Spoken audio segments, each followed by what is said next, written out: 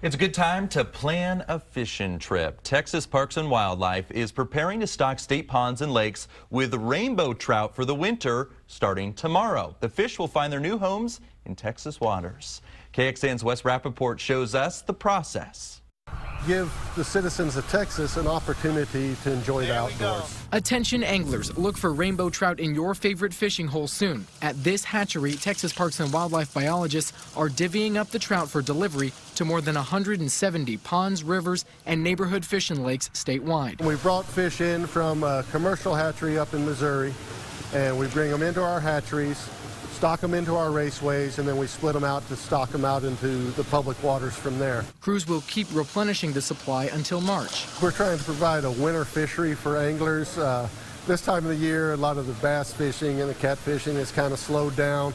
But by us bringing in these rainbow trout and stocking them into the public waters, we're giving an opportunity for people to go out and uh, experience some, some winter type fishing especially with a species that is not normally found here in Texas. Hatchery biologist Hugh Glennewinkle has been with Texas Parks and Wildlife for 25 years. He looks forward to restocking every year to see the next generation of fishermen and women reel in their first catch. Every day that I go out and I see people catching fish and, and uh, making memories, it, it is always worthwhile. It, every day is a great day on the job. Giving Texans a chance all winter to catch for fun, for a meal, or both.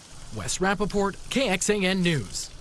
Parks and Wildlife will stock more than 333,000 trout statewide at a cost of less than a dollar a fish. Remember, anyone older than 17 needs a fishing license to fish. Rainbow trout have a bag limit of five.